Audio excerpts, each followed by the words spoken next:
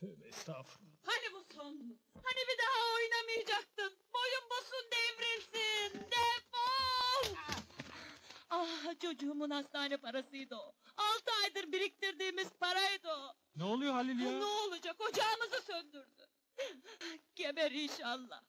At yarışlarında sürün.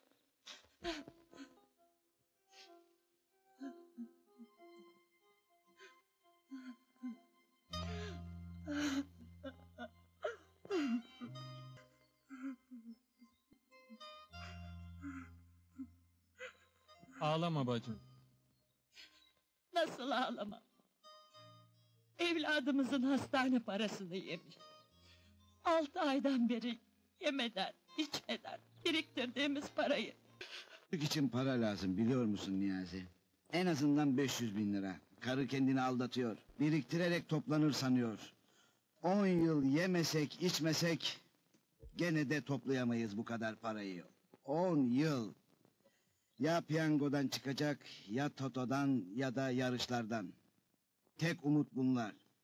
Yoksa oynar mıyım? İşimiz şans oyunlarına kalmış.